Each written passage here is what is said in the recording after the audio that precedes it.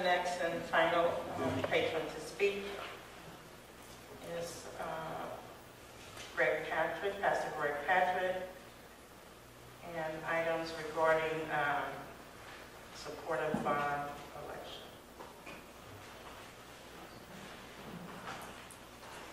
Pastor Patrick, please note, as I've told all patrons, five minutes, and we may begin. Thank you so much, uh, President Williams, to H.D. Chambers and the other board members. I am happy to here today, and I come for a twofold purpose. To come here today as a lifelong, well, not a lifelong, but a 40-year Alief resident. I'm very much concerned about not only the things that happen in Alief, but the good things and the bad things that happen trying to avoid the bad things at all costs. Um, I have two subjects that I'd like to address today. The first one being, uh, I support not only, I support the bond issue, that's the first one. I support it. I support it uh, as not only a way to update the current conditions within the district, but also specifically to provide upgrades in technology and student and teacher safety and needed security through a centralized systems that will be able to protect our children if there are emergencies that do happen. New buses, new computers, and new campuses. Um, sorely needed renovations and building upgrades to facilities like Crump Stadium and many, many others. Um, I wanted to let you know that this bond is an important one and it should be supported by the Alief community.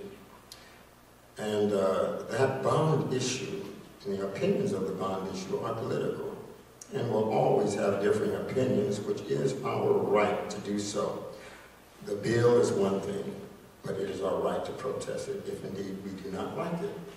Now, however, my second subject is not political, it is personal.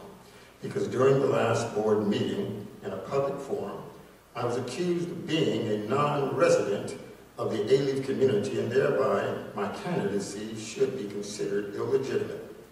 I must refute this erroneous statement publicly as it was presented publicly by Stream and Zoom on social media. On September 11, 2001, I moved into my parsonage, yes, on that day as they were falling, the buildings were falling, and I have maintained residence there uh, since that time. I'm very happy there, and I, even Harris County has visited my parsonage and has allowed it to continue as my official residence uh, at, this time, which is in Alief. Again, let me make clear, I own no property in the state of Texas with which any person could easily have checked if they wanted to before blurting it out that I was not a resident. That will be settled not in this room, but in a room that has jurisdiction. Only house I've owned since I was divorced was in Katy, and it was sold some time ago. Now, I'll be happy to show you the closing documents which I have brought here with me. Um, it was transferred, was not transferred to another family member nor friend for holding. It was sold. I'd love to say more, but let me just say, no one should be allowed stand before this honorable board and besmirch the character of anyone just on the pretense of running for office. I, when I started to run for this office, I thought it would be one that we would talk issues. But now we have attacked person's integrity and character. This is beneath us and should never be done easily we can find ways of working together and not besmirch one another, not demean one another's character.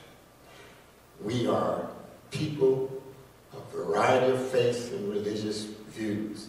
But if we're going to be people of this good country, this great country, we must be people that respect one another and check things out before you call a person a liar. I myself was appalled when I saw and heard of this over Zoom, streamed, and repeatedly played to other persons.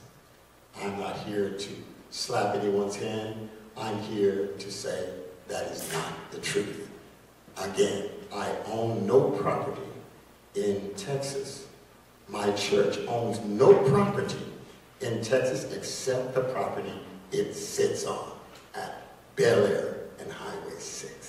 We love it there, I love it there, and we'll continue to vote from there as God gives me opportunity.